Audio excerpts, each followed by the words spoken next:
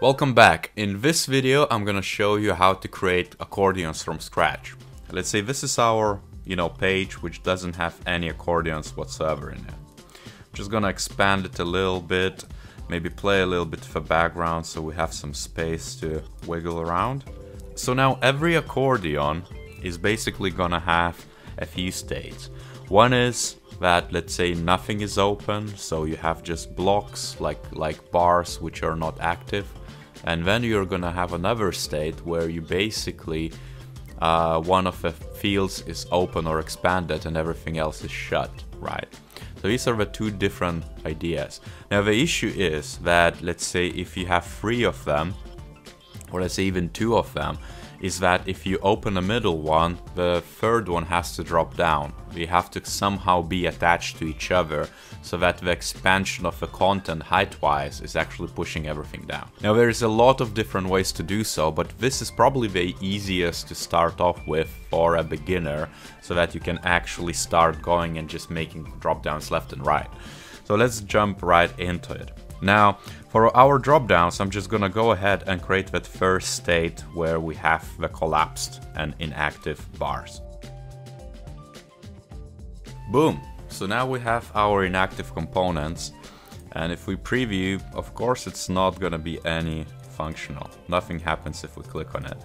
Again, the styling is relevant for now, what we care is interaction. So I'm gonna go ahead and just convert this one into dynamic panel. And what we would want to do is, of course, give it names. So let's say accordion 1. Now inside, you would want to also create a couple of states. So let's say in this case, I'm just gonna duplicate this state and say this is where the content lays. And the other one is the default one. So in the content one, you of course want to expand it to some length. It's good to keep it quite standard. So let's say I'm gonna keep it at 330 and I'm gonna also note it down and I'm just gonna invert probably this arrow up and probably maybe even change the color so it's more obvious for the users that this is the active panel like so let's say. Of course you can play with the shades a little bit better. I think this is a bit too brutal for us. Just create this and probably fill it in with lorem ipsum. This is a nice kind of built-in feature in Axure. Like so and let's say let's make it 12 and maybe insert a few paragraphs so it feels a bit more natural. I think we can also maybe add a picture or an element to it. Let's say if this is explanation of how to do something, maybe it's a tutorial. One more thing what I want to do after defining the content and the ever state is just to make a switch right away. So I'm just gonna say if you click on this bar, just gonna add the, the top layer of the hotspot so we can add a trigger to all the items instead of just one. I'm just gonna say interactions, new interaction on click, set panel state, accordion 1, and we're gonna just state it to content.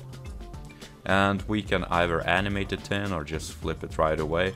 And I'm just gonna copy the same hotspot to the content bit as well like so. So just to the top bit and I'm just gonna change it to default state so that we create kind of like a binary switch back and forth.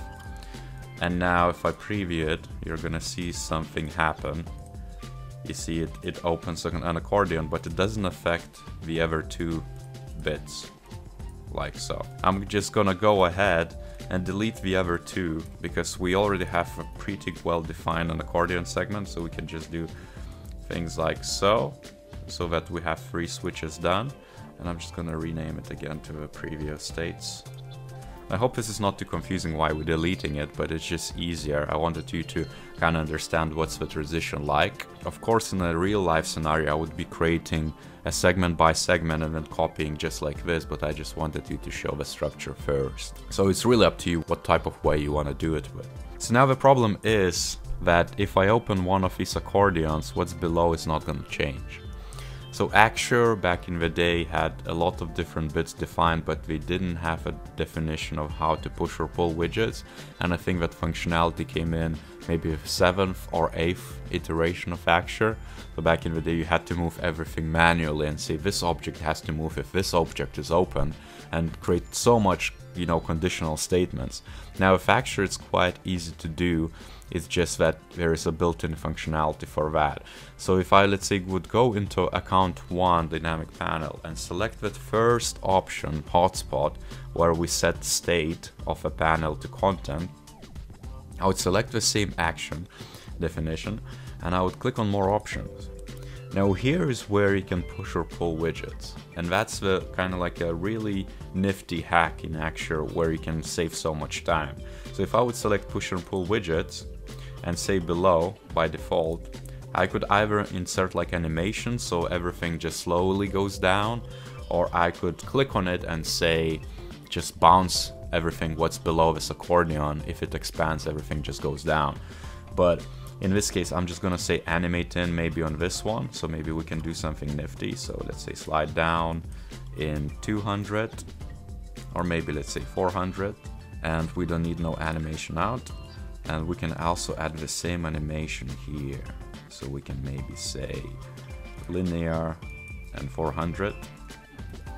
So as you can see, we're matching the top animation that the content is gonna slow slide down, but also everything below, most unopened bars are also gonna slide down. And let's test it out. Let's see how that works. Boom, as you can see it slided in pretty neatly, but if I close it, nothing else happens below. So what I'm gonna do next, I'm just gonna go in into our uh, accordion one dynamic panel and just choose different state for content because we have a binary switch.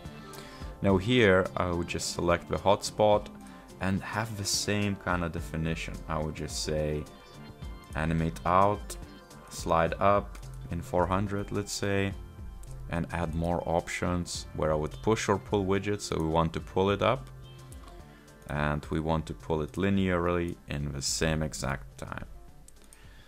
And that's it. So we have two statements, uh, two, two type of animations going, and let's see if that works. So it pushes everything below and it pulls everything up. As you can see, it's smooth enough. You can play with uh, timings to make it smoother because there's some transitions in between in and out, but it works. So what I would do next is I would simply, again, would probably just delete the other two and just copy this bit because it already has all the behavior we need. So maybe I would just do something like maybe five even, it doesn't have to be three, but just to show you exactly what I mean. You can just, you know, once you define one, you can then replicate the things like so and preview. And now it doesn't matter which accordion I would open, it opens and, and pushes everything down. So it's pretty neat, right? As you can see, we're running out of space, so you might want to also increase the size of this panel underneath, uh, just so it's more uh, aesthetically pleasing and it doesn't look so broken. Maybe like so, so that it, you know there is infinite amount of white underneath, and just open different tabs.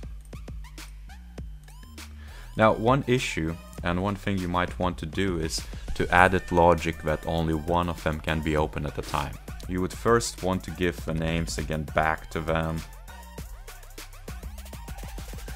You would kind of want to go bit by bit if you really want that logic, because again, it takes time, it takes extra time. So you would want to say on click, insert action, and just set panel states of every single bit like this, account 2 to default, and then add another target, account 3 to default, and then another target for the default. And so on. And you can of course copy this bit across to different dynamic panels, but then you have to adjust that, let's say account 1 is also one who closes instead of account 3 or so forth. But just to show you exactly how that would work, I would just open this up, preview it, let's say we open number 6, and then we open number five, number 1, and as you can see the 6 just close down. So you kind of automate it, but automate it manually. And again, play around. There's, you know, a lot of you can do. It just takes a little bit of extra time. Of course, it's maybe like extra 15 minutes, and it, you know, it could improve the prototype experience immensely and maybe your users are gonna love it. So it really depends what you want to achieve, but these are the basics of, of accordions and how you can stitch together multiple elements into one accordion and how you can push and pull depending on user interactions. So I hope this video was useful. If so, give a like, subscribe to this channel, leave a comment down below if you would like for me to cover something else. And as per usual, stay tuned for more material coming up soon. See you next time.